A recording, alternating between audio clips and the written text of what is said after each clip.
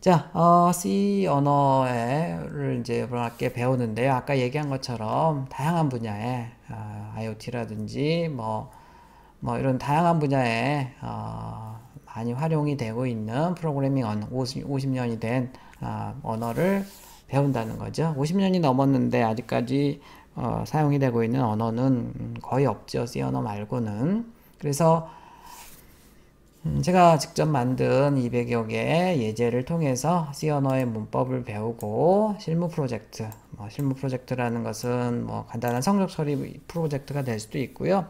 예년에는 보통 이제 어, 테트리스 게임 같은 거를 많이 했었습니다.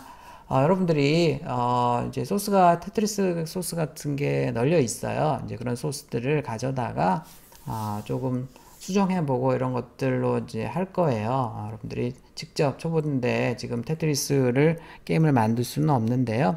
그 만들어져 있는 소스를 분석하고 이해하고 수정할 수 있으면 충분히 여러분들 것이 될 수 있기 때문에 어, 초보인데 너무 뭐 여러분들이 사소한 것부터 다 하려고 하면 이 어, 코딩 패턴을 버려요. 그래서 잘 짠 사람들의 소스를 어느 정도 수준이 되면 분석해 보는 것도 사실은 굉장히 중요하거든요. 그래서 뭐 이런 이제 어 마지막 주에 혹시 프로젝트를 하게 항상 하게 하고요. 음, 그러기 위해서 이제 필요한 문법들은 다 한 학기 동안 할 겁니다. 사실 되게 촉박해요. 근데도 일단 하도록 하겠고요.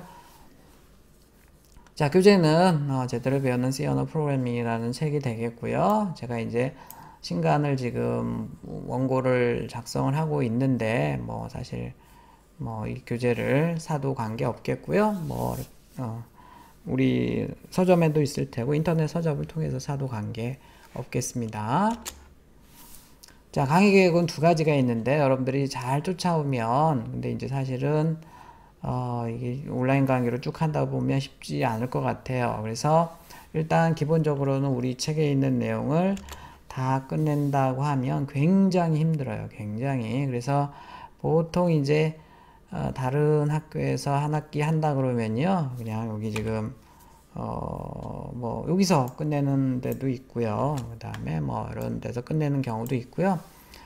어, 그런데 이제 이거 다 하긴 사실 좀 벅차고요. 그래서 어, 근데 이제 여러분들이 이런 간단한 것들 어, 프로젝트를 해보려고 하면 여기 포인터라든지 포인터라든지 구조체에 대해서 반드시 알아야 됩니다. 그래서 조금 천천히 하더라도 천천히 하더라도 여러분들이 꼭 어, 이제